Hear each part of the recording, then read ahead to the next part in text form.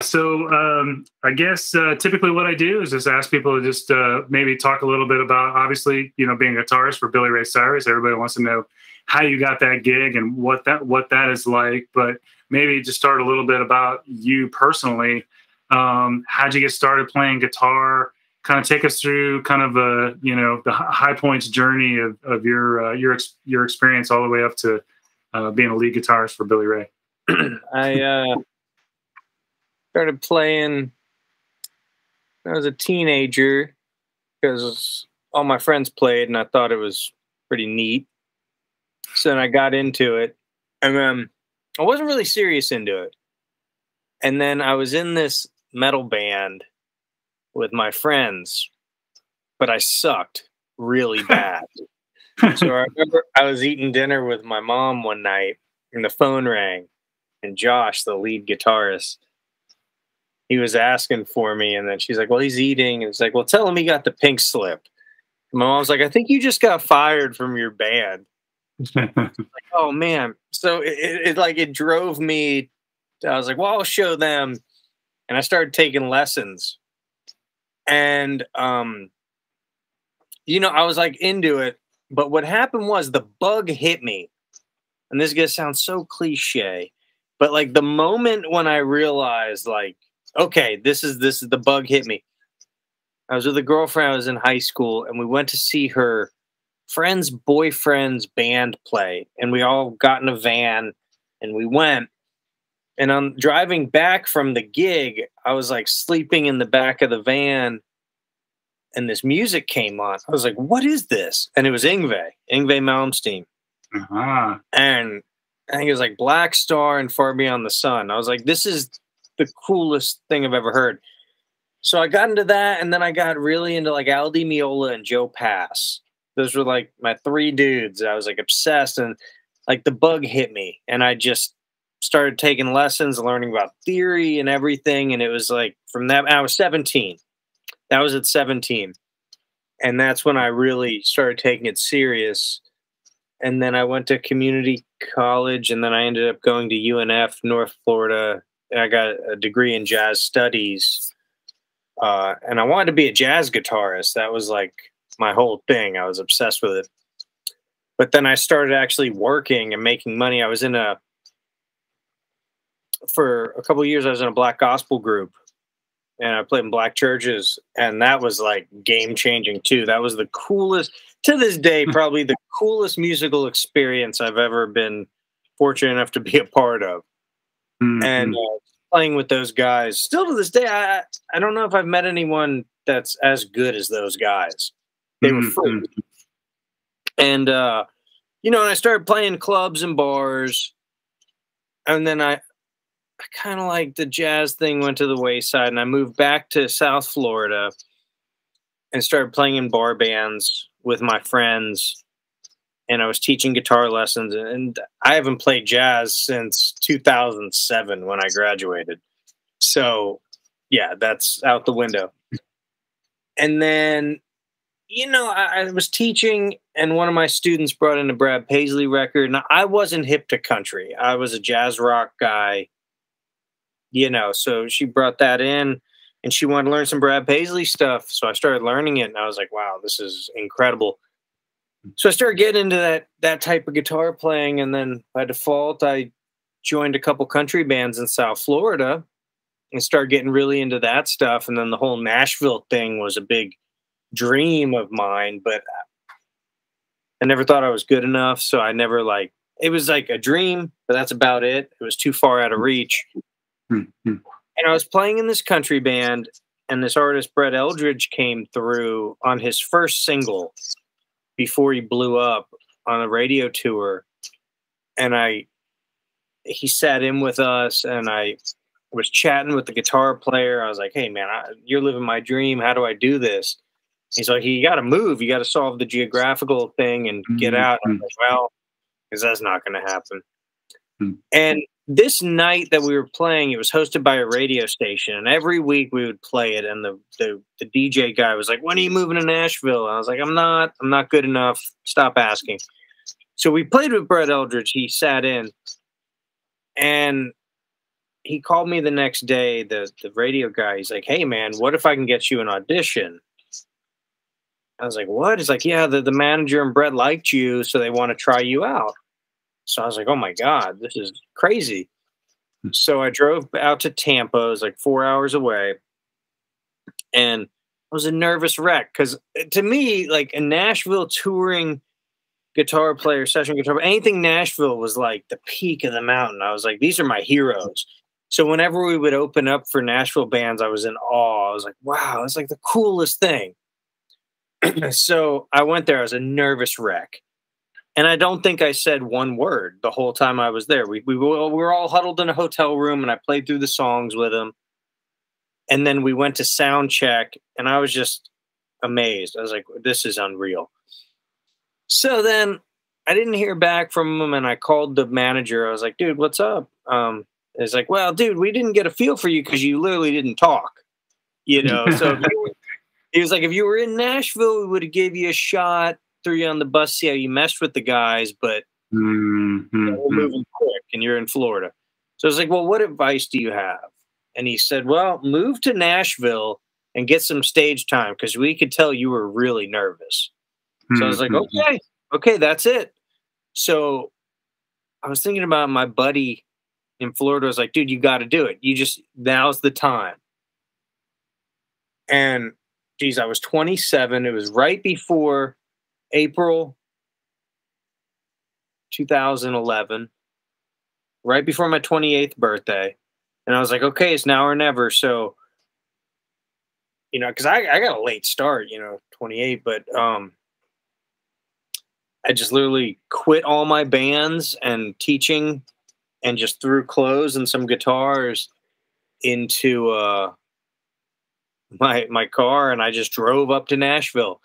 And I had one friend and I, I, I had a room, but it fell through on the trip up. I called the guy. He's like, "Oh yeah, it got taken." I was like, "Jesus!" Well, now I got nowhere to stay. so I stayed at my buddy Lee's house. He was gracious enough to let me crash in his basement for two weeks till I found a place. Um, but actually, the first night I came to Nashville, I met him out. He was out at some bars, and as luck would have it, there was a drummer there, and he introduced us. And he was like, "Hey, we're looking for a guitar player," and it was like this bar gig thing. But that was my mm-hmm. first gig in Nashville, so I got a gig the first night, which was a trip. Mm-hmm. And then I hmm. moved into this this basement at this guy's house for really cheap and just, just took every gig that came my way and just was practicing like crazy and you know it was it was a very slow slow grind and then it got really slow during the winter and I wanted to move home because it was like man this is I didn't know anyone no one was calling me it was because I'm from Florida it's so funny you know when you, when you move I hate to use the term like big fish, small pond because I'm not a big fish, but like I was busy. I was working. I was right. working five, six gigs a week, making money, teaching to nothing. It's like a big shock. You're like, oh, damn right. it. So I stuck it out. My friend was like, you got to stick it out, man. And I'm so glad I did. And then the first gig, the first big gig I got, because I was playing on Broadway and doing random one offs with bands now, Broadway, for anybody that hasn't been to Nashville, describe Broadway. Well, Broadway, Lower Broadway is three or four blocks and Second Avenue of just bars. And when when I moved to Nashville, it's funny because it was all single level. And you could park on the street right in front of the bar. And now it is insane. Every bar has like three levels with a rooftop they're jamming on every level. every level. There's so it's chaos down there. And uh, when I moved there, it wasn't. The Nashville hadn't exploded yet in 2011. It was still pretty honky tonk. And I was doing that, and then my buddy called me for SHeDAISY, uh, the the female vocal group, and I went out and did a fly date with SHeDAISY, and then I picked up a gig and I started touring for like a year with uh, this girl Morgan Frazier, and that was really awesome because it was all these like big opening slots. Actually, the audition for that gig, and this was crazy because the audition was the gig, and the gig was opening up for Dierks Bentley in front of like ten thousand people. So I was like, "Oh my god!" And I had never played with the band. So for all you people listening, that that's how Nashville works. Literally, the first note I played with that band was in front of ten thousand people, wow. and uh, uh, I, I got the gig luckily and but that, so, so it sounds like let me let me uh, let me pause you here. So it's like you know kind of like i think that's a that's an important kind of point to kind of unpack a little bit like how nashville works. Because it sounds like okay number one you realize you got to move to nashville. If you, if you if you have any chance of kind of connecting because it's it's a networking thing. It's not about how good you are. It's about who you're exposed to who you know big, references big yeah. yeah yeah, I mean, I think the big thing you got to be able to play. That's like a given because there's a bar here. But there's a thousand. You could throw out a rock out a window and hit, hit yeah. an incredible so, guitar player. In so that's that's where the other two aspects come in: your network and how good your hang is. If you're an ass, there's a lot of good players in this town that are really hard to be around. God bless them, but you know People just don't want to mm. work with them. They're amazing, but it's and then they, I mean, there's guys that I'll call that aren't the best. They're good enough, but I love mm. being around them. Mm. So mm-hmm. I'll call those guys always.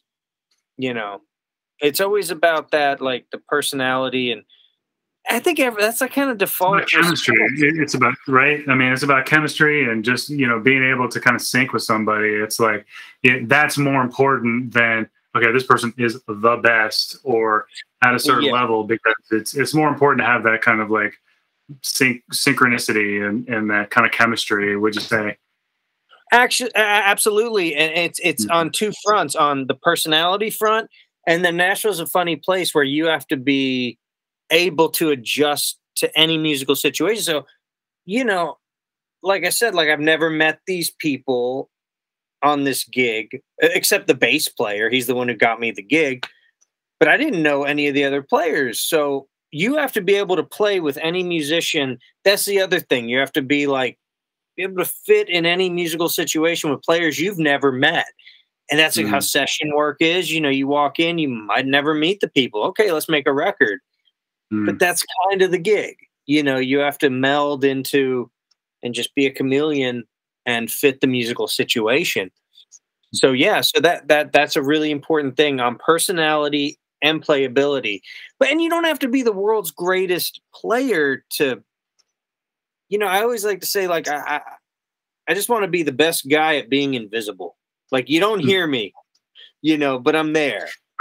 And right. you know, because you are packed stadiums to see Chris Condon. yeah, exactly. You're not you're not going to a gig to see me. You're going, you know. So as a side guy or a session guy, you know, it, it's always about just kind of blending in, and you're not the you're not the spotlight. And I've always hmm. loved that. I've always loved the thing in a session like the part that you mute that you don't know is there, but when you mute it, you miss it. You know, that mm-hmm. type of stuff. And that's yeah. how it is with live stuff. You know, you got to just meld into the thing with your tones and your pocket. Just so, like, because it's a funny thing. How I know a drummer or bass player is great is if you ask me, were they good? And I say, I don't know because I didn't notice them. They're invisible. Mm-hmm. That's mm-hmm. how I know you're a great drummer or bass player because I didn't hear you. Mm-hmm. You didn't stick yeah. out. And that's yeah. that's the role. So yeah, that's cool. Yeah, but so so then you know I did that gig for a while. Then I toured with Drake White and uh, Logan Mize and Granger Smith and a bunch of other people. And then uh, I got the Billy gig, which was a fluke. Like to, to talk about that, yeah.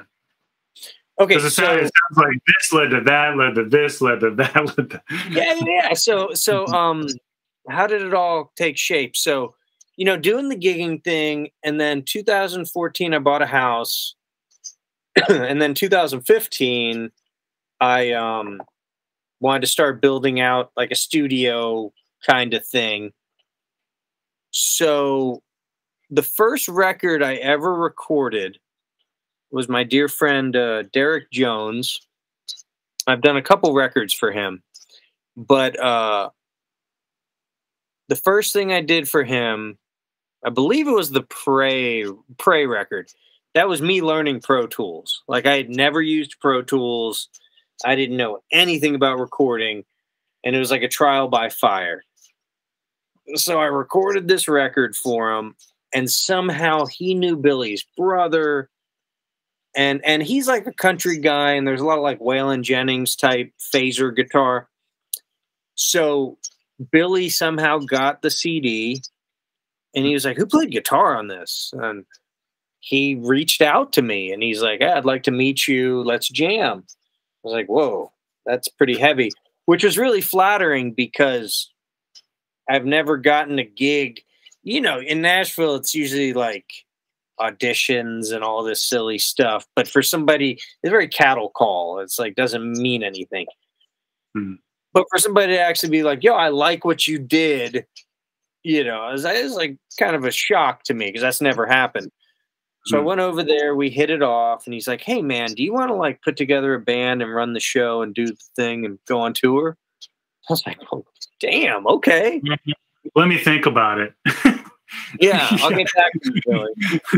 So I put together a band, and to this day, we've only had one rehearsal with Billy the whole oh, time. Oh, really? I put together a slamming band, and he came in, and we ran down the set, and he's like, "Damn, I've never had a band like this is the best band I've had." And I was a shock because, you know, we were all flattered, like he was really happy. And to the day, we have not rehearsed. Our rehearsals are like sound check, like, hey, let's do this new song, and he'll throw a song in the mix. But you know, but that's also the thing with Nashville. You just like, like I was saying, you got to show up and just that's it. You got to deliver. Mm-hmm. So I was grateful that all my friends pulled through and impressed him. And you know, I've been with him since then. And then uh, yeah, the the Old Town Road thing that was a trip. But talk you talk know. about talk about that. Talk about tour. Like talk about anything kind of like high points, low points with. Well, with um, pre COVID. Okay, it was funny when I first got the gig. It was, you know, your typical older country crowd, and then Old Town Road came out and management called me and they said, Hey, Billy just put this song out. We think it's going to be kind of big. And within like days, this thing went, you know, it's the biggest song in history. It broke every hmm. record. It was like insane. And then the crowds got way younger. And we're like, whoa, we're mm. cool now. and then like got cool we again. Went from achy breaky heart to uh... well, there's three generations of Billy. You got your achy breaky heart, your '90s Billy fans, and then you got your Hannah Montana fans, and then you got your Old Town Road fans. So you'd have this like age gap in the crowd, and it was insane to see. And that he's like, you know, 60 and he's got the it's it's ultimately Dewey Cox it's like the end of Dewey Cox when he does that collaboration with the rapper and he re does himself, you know, like it's the same thing. It's awesome. Like the, the way that Billy can stay relevant always blows my mind. Like that guy is mm-hmm. he's a gem, man. That guy's unreal. How he could just keep it going. Uh, I don't know anyone else who could say that, you know, it's mm, yeah. It's like sounds like I mean he's a true artist, right? I mean he's, he's Yeah, and just to have that that type of career, I, I, I got to hand it to him. It's mm-hmm. incredible. But mm-hmm. that that's been really fun, and uh, it's slowed down a lot. You know, COVID. Well, what's crazy about COVID is that we had right before COVID hit, he had come off of winning like three Grammys for Old Town Road. So we were booked on like Lollapalooza, uh, Stagecoach, like the biggest it was going to be like his biggest year ever. And then COVID hits and mm-hmm. just leveled the field, and that really put a stop on it. Um, so who knows what would have happened if that didn't, you know? Mm-hmm. But uh, yeah, so it's it's been progressively slowing down, but um, you know, so talk about pre pre COVID, sort of like what I mean. Were, have you toured internationally? You know, as a, as a band, yeah, we went, like what? We you know? we went to Australia and Canada. That's the only thing that's like out of the U.S.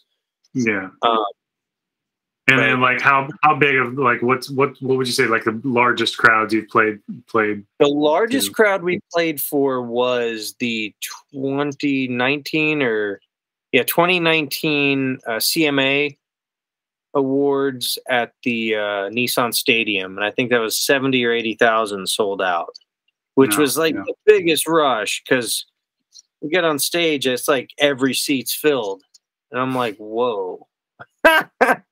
So talk that, about that. that. Talk about the feeling. Talk about like the the nerves or the you know just like the energy. You know, I I don't. You know, I equate this gig or to this job of it's a job. You know, you you show up and you do it. So the stage fright thing doesn't really come into play. That night, I was shitting my pants. I was like, "This is this is insane." So that that it was that's one of the biggest rushes you know when mm. we got to do that um it was over before it started. it's a dream right? Yeah to be to be you know oh, to do that kind of thing. Yeah, yeah like he, it's gone it's done you know you're like it goes by so fast. Yeah, but that that was uh, in, incredible. And then you know we've done um we did the ccmas that was like a live uh, award show. So, and then you know the Opry, and then Good Morning America, and all, all that fun stuff. So we've done like big TV things. Uh, so that's cool. You know, that's fun. All right, so talk a little bit about okay. Obviously, I mean, COVID's hit every musician, you know, everywhere. Um, so, like, just talk a little bit about kind of like how you've had to pivot um, career wise during during that during that time and kind of like where you're at now yeah so when when when covid hit i just doubled down on production work you know and just it was crazy because i don't know if it was like stimulus money or but everyone had money to record. And it just it was it was rolling man. It was it was a good mm-hmm. time to to do that. And uh it's kind of funny because it actually burned me out um because I was doing so much turnover that it kind of got me out of the production thing, and now I'm just focusing on session playing. I do produce mm-hmm. some here and there, but the, the focus is definitely just playing sessions at other studios. Yeah, they have a uh, uh, an enviable enviable home studio. If we if you had your phone, I'd have you walk us around. But uh, I've got some. I think we have some photos here. We'll we'll we'll put on screen. But uh, yeah, to, talk a little bit about your home home studio, and uh, you were featured well, on some other, yeah, yeah, yeah, yeah, the Andrew Masters studio uh, tour. Mm-hmm. Uh, that's super cool. He's great. Um, it, it's my house, and I turned it all into a studio. So it's been a, a work in progress. It started just in the basement. Everything mm-hmm. was in there, and then I was really battling with drums with having clients because like the more the more I built, you know, I don't, I didn't know what I was doing. I still don't know what I'm doing, but yeah. learning by doing, I, I learned the biggest thing I learned was isolation is your best friend. Like once I started isolating singers in other rooms and guitars in other mm-hmm. rooms and drums in other rooms, you just the tone is so much better because you're actually hearing it through the speakers, and you could hear phase. You could isolate things. You could actually hear what the compressor's doing as opposed to sitting in a room and you got to record it and then tweak it and it just takes so long. So mm-hmm. I could EQ a tom in real time while he's hitting it, and it it just makes for a way better product. But it started in the basement, and then here I'm actually in my living room. I turned this all into a this is the control room, uh, but you could see it online. And then I uh, turn the back room into a vocal room and the other room into an acoustic room. So it I, I could do seven people at once here. Hmm. So downstairs is drums, and I could have three musicians, and then one in this room, and then two back there. So, so tell me how how does being a so uh, would you call yourself a producer? Is is that like one of the hats that you wear among the many Yeah. hats? Or Yeah, yeah. I mean, definitely. talk a little bit about how that makes you a better musician to understand. Oh man, the man, the man, man. That's a great question. Because I think it goes hand in hand. Every great session player is by default like a producer because you have to like have an understanding of how the song works. It's it's never a singular thing. It's never about your guitar or the bass. So, and not to say that I'm great at anything, but I did learn a lot from producing. It really helped my session playing because you're really just constantly thinking full spectrum and like like I said, being invisible, man, guitar doesn't matter. Nothing matters. Like it's just you know melding in. It's not your show. Yeah, So combined effort. know. Yeah, and just how to layer and how to like what what's the right part for the song? What's the right tone? Mm-hmm.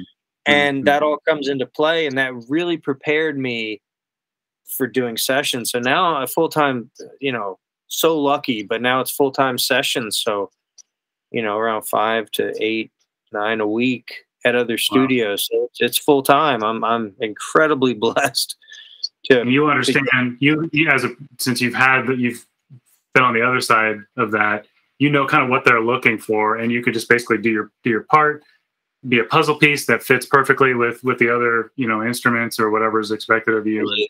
That's that's the hope. You need to show off right yeah well it's never yeah like here's the thing you never want to get asked to play less that's, that's the gold rule of thumb, man. I'll tell you, you want people two things as a guitar player. Listen up. you want to be told to turn up and play more. And if you do those two things, you'll keep working. Yeah. that's a, that's great advice that's great advice. Yeah. Turn down uh, and play less is is the worst. Because you know, you might not get invited back right right. That's so that's kind of live my life by that. Just kind of stay out of the way, do my thing.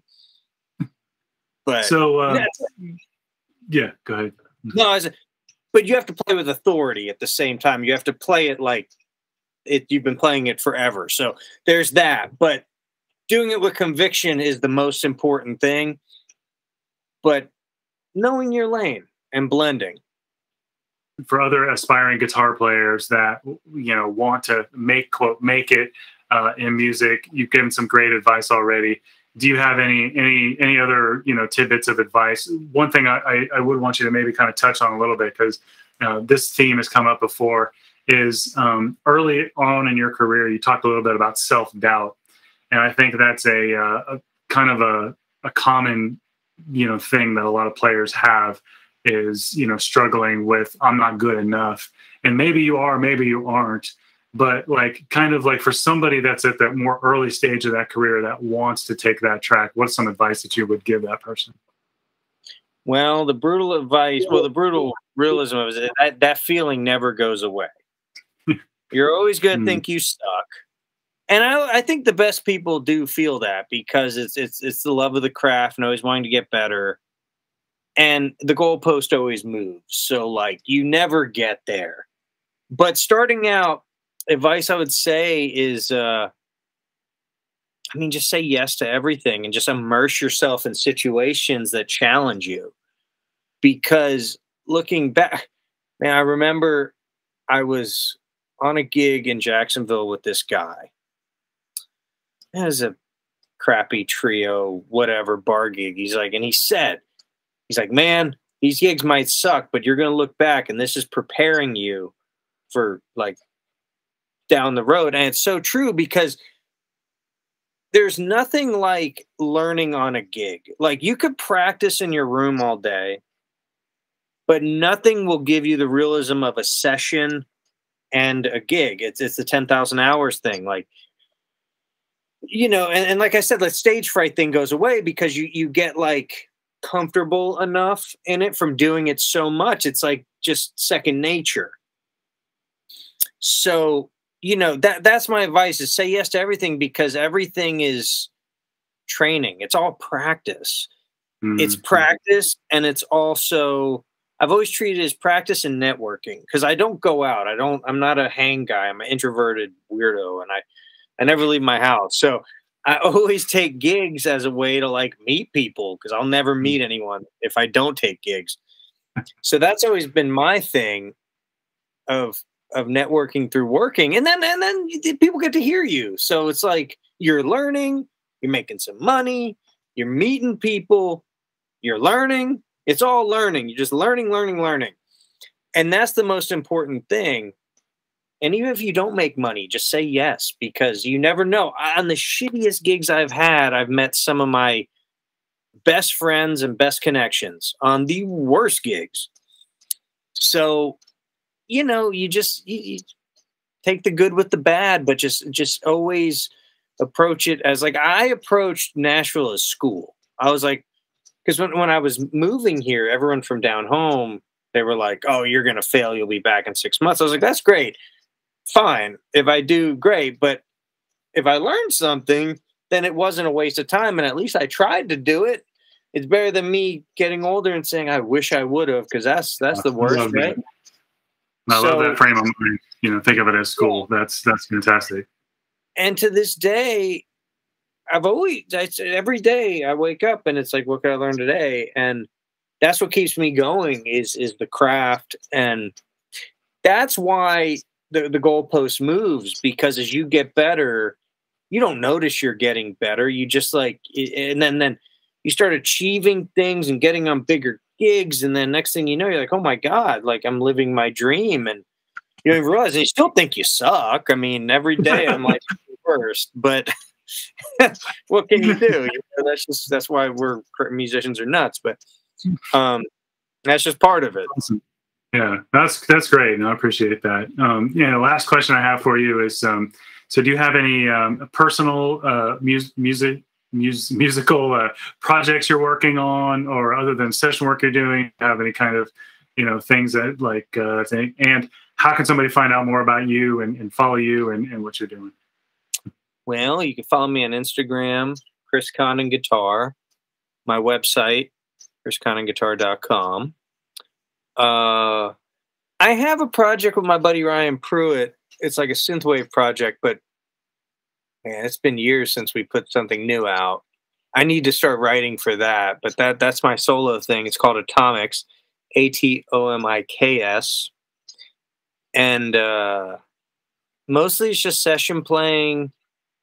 Uh, there's a few artists I've been working with that uh, some new music should be coming out that I'm excited about. Um, but you know, if you follow me on Instagram, you'll you'll see it. Cool.